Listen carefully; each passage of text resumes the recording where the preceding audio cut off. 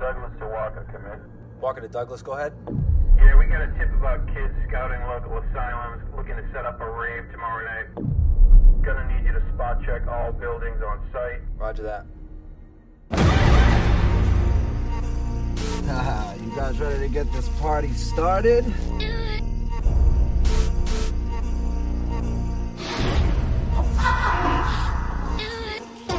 You okay?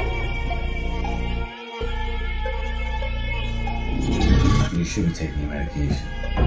Everybody's dying from it. They just killed more people than drunk drivers. You know, you, read, you watch the news? You're never getting out of here. I'm gonna come out and straighten it all out.